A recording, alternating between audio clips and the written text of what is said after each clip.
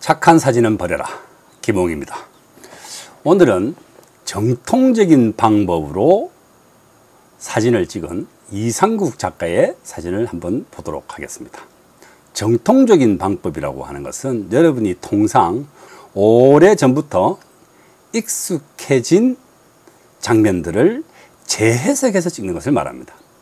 방법은 전통, 정통적이고 전통적인 방법인데 재해석을 하는 게 중요하거든요. 그러니까 방법이 오래된 방법을 쓰면 우리한테 익숙하기 때문에 누구나 그것을 보면 금방 삘이 옵니다. 감동을 받을 수 있죠. 근데 재해석까지 했다? 그러면 오 대단하다. 사진이 가지고 있는 어, 것 중에 가장 중요한 것이 신선함입니다. 신선함. 새로운 해석.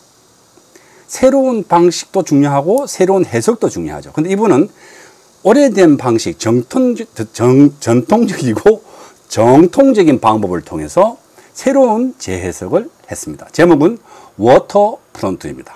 Waterfront, 수변이란 뜻이죠. 부산에 살고 있으니까 이분은 정형외과 의사입니다. 부산에 살고 있으면서 부산의 수변, Waterfront. 근데 오늘은 해운대의 사진만 등장합니다. 아, 보시면 여러분 감동합니다. 특히 이분은 사진을 찍으실 때 디지털 카메라가 아니고 필름 카메라를 씁니다. 그리고 라이카 마니아입니다. 그러니까 라이카에 필름을 감아서 촬영을 하고 현상을 해서 그걸 스캔 받아가지고 프린트를 하는 거죠. 어, 참 노고가 예사로운 노고가 아니지만 약간 아, 그래도 필름이 주는 맛 저희도 오래전에 필름을 썼기 때문에 그 필름이 주는 맛에 대한 향수라 그럴까? 그런 것들이 대단히 가슴에 와 닿습니다. 여러분과 함께 그 사진을 보도록 하겠습니다.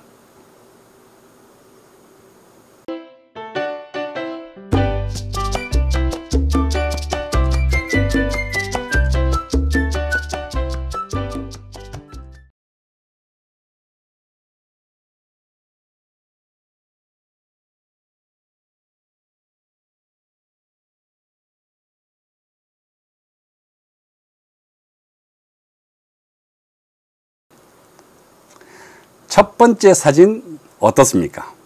드라마틱하죠? 사진이. 주인은 바다를 벌끄러미 보고 있고 강하지만 어, 카메라를 향해 있습니다. 이 사진이 왜 이렇게 드라마틱한가? 이 사진이 만약에 날이 쨍 한 날 찍었으면 전혀 드라마틱하지 않을 겁니다. 그냥 뭐 아, 강아지 한 마리가 있군, 주인이 바다를 들여다보고 있군, 아, 보고 있군 이런 정도에서 끝났을 거예요. 그러나 날씨가 드라마틱한 겁니다, 여러분. 음? 아버스가 찍은 사진들. 아버스가 찍은 사진들이 왜 드라마틱하냐? 거기에 등장하는 인물들이 드라마틱한 사람들이 등장하기 때문입니다. 수박 찍으면 수박 넣고 호박 찍으면 호박 넣죠 그러니까 드라마틱하게 찍으려면 드라마틱한 수박이 있어야 되고 드라마틱하게 찍으려면 드라마틱한 호박이 있어야 된다는 겁니다. 모델이 80% 90%를 점한다. 이 점에 있어서 여러분들은 항상 드라마틱하게 찍으려고 노력하셔야 돼요. 우리 이상국 작가님께서는 그것을 간파하신 거죠. 쨍한 날 해운대 바닷가 나가 찍어봐야 고만고만한 사진이 찍힌다. 그러니 날씨가 흐리거나 태풍이 오기 전이거나 태풍이 온 뒤에 촬영을 하면 드라마틱하게 찍힌다는 것을 이분은 알고 계셨던 거죠. 다음 사진 보도록 하겠습니다. 하하, 여러분 어떻습니까? 너무 재밌지 않습니까? 예? 아이고, 이 아이들 보십시오. 아이들의 표정, 그것을 보고 있는 엄마와 아빠, 어? 이, 전부 다 이렇게 너무너무 귀엽지 않습니까? 아마 이게 모래에, 모래 조각 대회가 일어나고 있던, 음, 때인 것 같습니다. 그런 것들을 사람들이 보고 있으면서, 어, 촬영을 하고 있죠. 이 사진에는 저 뒤에 보이는 LCT라고 하는 건물이 보입니다. 지금 짓고 있는 중이죠. 지금은 거의 다 지었습니다. 사진이라는 것은 자신이, 자신이 상관하지 않았던 것이 찍혀도 그것이 역사의 한 부분이 될 가능성이 높습니다. 이 사진이 대표적인 사진이 되겠죠.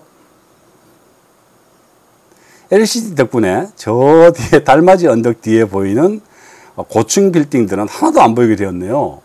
어? 아, 참. 사진이라는 게 묘한 것이에요. 다음 사진 볼까요? 야, 우리가 바닷가에 강아지를 끌고 나온 게 얼마 되지 않습니다.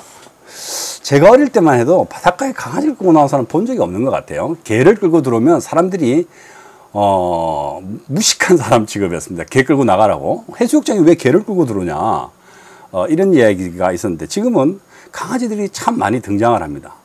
우리가 소득 3만 불 시대 전으로 와서 어, 강아지와 함께 사는 반려견으로 사는 것을 인정하게 되고 사회가 어, 강아지를 어, 가족의 한 구성원으로 인정하는 것도 새로운 변화죠.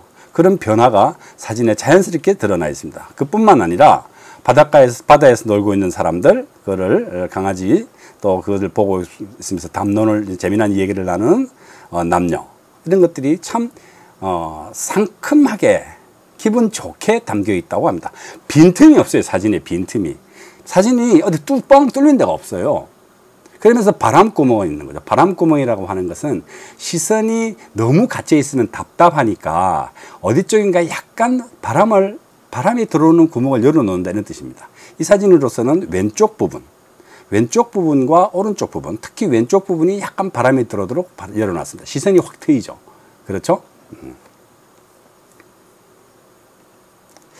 자, 다음 사진은 하, 여러분 어떻습니까? 정말 좋죠? 예? 이런 사진은 제가 언젠가 그런 말씀을 드렸습니다. 사람과 사람 사이를 해집고 들어가고 키스와 키스 사이를 해집고 들어가고 인생과 인생 사이를 해집고 들어가고 이렇게 말했죠. 여러분이 마치 사진을 함께 보는 듯 또는 어떤 이 현상, 이 상황을 함께 보는 듯한 느낌이지 않습니까? 카메라를 숙이든지 이러면 이런 것을 찍을 수가 있습니다. 이것을 빤하게 카메라를 어 그냥 빤하게 이렇게 찍으면 이런 사진을 찍히지 않죠. 카메라를 숙이고 그 속으로 함께 빨려 들어가듯이 내가 직접 보듯이 이렇게 찍으셔야만이 제대로 된 사진. 여러분이 동참할 수 있는 사진. 여러분이 함께 보는 사진이 지킨다. 이런 말씀이 되겠습니다. 아주 즐겁습니다. 그죠? 아이고, 저 아이의 표정 보십시오. 너무너무 행복합니다. 그것을 보고 있는 아빠의 모습, 예? 그걸 해주는 엄마의 행복감, 이런 게 다 드러나게 되죠. 다음 사진은, 자, 역시 선텐을 즐기는 어, 외국인 아저씨, 외국인 아저씨 선텐을 즐기고 계세요. 어, 아직 예, 바닷가는 제철이 아니어서 어, 사람들이 수영복을 입고 있지는 않지만 외국인들은 스스럼 없이 옷도 벗고 위통도 벗고 신발도 벗고 선텐을 즐기고 있습니다. 외국인이 하면 자연스러운데 우리가 하면 왜 좀 쌍스러운지 모르겠어요. 그죠? 근데 이게 자연스럽게 저희들도 어, 이렇게 할 거라고 생각합니다. 어, 이게 국민 의식이 높아지든지 예, 또 자, 어, 개인주의, 남한테 피해를 주지 않는 한도 내에서의 개인주의가 예, 좀더 어, 팽배해지면 자연스럽게 이런 현상들이 생겨나게 되겠지요. 이게 그냥 단순히 외국인이 옷을 벗고 있어 이렇게 예, 이해할 수 있는 것보다는 우리의 간습과 생활 예, 그런 것의 한 일면, 단면을 보여줄 수 있다는 것을 여러분에게 말씀드리고 싶습니다. 참 근사하네요. 이 외국인 참 한유하네요. 저도 해외여행을 어, 자주 어, 가고 있고 예, 제가 옛날에 대한항공 모닝캄이라고 하는 잡지에 일을 할 때도 어, 한 일주일 정도 취재가 있으면 음, 한 10일 정도의 취재를 받든지 해서 일주일 정도 부지런히 사진을 찍고 한 3, 4일 정도는 그 근처에서 이런 식으로 그죠 외국에 나가니까 누구나 하니까 어, 아주 편하게 쉬다 오던 그런 생각이 납니다. 어, 이제는 뭐 어, 나이도 있고 해서 어, 젊은 이들이 이 제가 하던 자리를 어, 다 차지해서 아마 저는 어, 이런 기회가 별로 없을 것 같다고 생각합니다. 대한항공을 타고 가서 어, 취재할 기회는 별로 없을 거라고 생각되어지지만 예, 여러분들도 기회가 있으면 어, 대한항공이거나 어, 또 아시아나이거나 이런 일을 항공 기내지 일을 해보시면 대단히 재밌을 거라고 생각합니다. 원고료도 많이 줍니다. 자, 또 볼까요? 어이쿠, 또 강아지가 등장했습니다. 흑인이 앉아 있네요. 귀걸이를 한 걸로 보아 여성인 것처럼 보입니다. 뜸은, 뜸은 사람들이 있고, 그죠? 어, 화각이 약간 예, 비스듬하게 찍혀 있습니다. 예, 수면하고 정확하게 맞추지 않았어요. 꼭, 이걸 꼭 바로 맞춰야 된다고 생각하는 것 자체가 어, 일종의 강박관념인데 풍경사진 이외에는 이렇게 안 찍어도 됩니다. 이렇게 반듯하게 찍으려고 노력 안 하셔도 돼요. 그리고 어, 강아지를 끌고 오는 사람들의 손이 마침 들어와 있고, 그죠? 손만 들어와 있어도 거기에 사람이 있다는 것을 알 수 있죠. 뭐 강아지만 있어도 거기에 사람이 있구나. 강아지 줄만 있어도 거기에 사람이 있구나. 이렇게 다 알고 있잖아요. 우리는 다 그런 식으로 이해를 하거든요. 그러니까 여러분들이 뭔가 보여줄 때 다 보여주려고 하지 않으셔도 일부분만 보여줘도 우리는 머릿속에서 재구성합니다. 재구성해서 그것이 안 보이는 것도 다 보이거든요. 예, 그렇게 예, 사진을 찍는 즐거움을 어, 즐기시기 바랍니다. 또 다음 사진을 한번 볼까요? 마지막 사진인가요? 아, 또 아직 남아 있군요. 자, 이 사진 보십시오. 뭔가 뭘 하는가 사진 찍는 것 같습니다. 아, 기념사진을 찍는 것 같아요. 다 우산들을 쓰고 있고 왼쪽에는 기념사진을 찍히는 어, 대상들이고 오른쪽에는 기념사진을 찍고 있는 사람이 우산을 받치고 기념사진을 찍고 있는 것 같습니다. 요즘 같으면 보나 안 보나 어, 사진기라기보다는 스마트폰으로 사진을 찍고 있겠지요. 찍히는 쪽이나 찍는 쪽이나 유쾌하게 짝이 없습니다. 아, 세상에서 가장 좋은 사진은 기념사진이고 기념사진 중에서 더 좋은 사진은 더, 더, 더 귀하고 좋은 사진은 내 얼굴이 멋지게 나온 사진입니다. 여러분 사진 단체 사진 받으면 어떻게 하십니까? 일단 자기부터 찾아보잖아요. 자기부터 찾아서 자기 사진이 멋있으면 그죠? 참 좋은 사진이다. 무슨 작품 사진보다 더 좋은 게 이런 사진 아니겠어요? 네. 여성분들은 어, 네 분이서 만약에 사진을 찍게 되면 넉 장을 찍는 됩니다. 그래서 넉 장을 찍어서 자기 사진이 가장 잘 나온 것을 따로따로 골라가신대요. 재밌는 얘기죠. 음, 자기 사진이 나오고 자기 사진이 아주 멋있게 나오는 사진이 세상에서 가장 훌륭한 사진이다. 얼마든지 이해할 수 있습니다. 예. 자, 마지막 사진 한 장 보도록 하겠습니다. 아, 이거 아깝네요. 마지막으로 넘어간다는 게. 예. 자, 마지막에 마감. 마지막 마감. 이거는 조선 비치 호텔 앞에 있는, 음, 예, 그 모래사장 뒤에 뒤쪽에 있는 자두 자, 어, 자판기인 것 같습니다. 그 사이로 자전거를 타고 지나가는 사람을 마지막으로 어, 이야기를 마쳤습니다. 여러분 어떻습니까? 참 재미있죠. 재미있고 전통적이고 정통적인 방법을 써서 사진을 촬영했습니다. 그리고 해운대를 재해석했습니다. 부산에도 사진 찍는 사람이 참 많이 있는 걸 알고 있는데 예, 수변공원 Waterfront 라고 하는 제목으로 해운대를 재해석하시는 분은 아마 이상국 씨 이외에는 아직 제가 보지 못한 것 같습니다. 여러분 멀리 가지 마십시오. 집 앞을 찍으십시오. 왜 돈과 그 어, 노력을 들여서 멀리 가가지고 제대로 작업도 하지 못하고 하시겠습니까?